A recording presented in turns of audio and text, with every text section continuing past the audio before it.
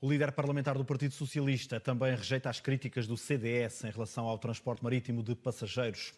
No primeiro dia das jornadas parlamentares do PS, que decorrem em São Jorge, Berto Messias referiu que a maioria socialista é estável e dialogante.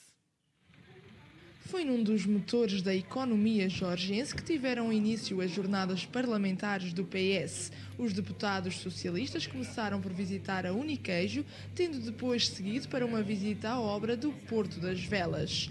No balanço deste primeiro dia de jornadas, o líder do grupo parlamentar destacou o papel da maioria socialista que tem ajudado a ultrapassar problemas como aquele que São Jorge viveu, por exemplo, no setor cooperativo. E isto prova também que nós estamos a consolidar um caminho de, de recuperação em parceria com, com as empresas e com as instituições eh, e que é mais uma prova de que eh, a maioria eh, parlamentar estável do Partido Socialista tem sido sempre uma garantia de soluções e nunca foi um problema. Para Berto Messias, São Jorge representa bem a parceria estratégica entre entidades públicas e privadas. Em São Jorge, o líder parlamentar do PS PS contestou as recentes acusações do CDS-PP no que respeita ao transporte marítimo de passageiros. Eu acho que, que ficámos a saber que o CDS-PP Açores é contra o transporte marítimo de, de passageiros.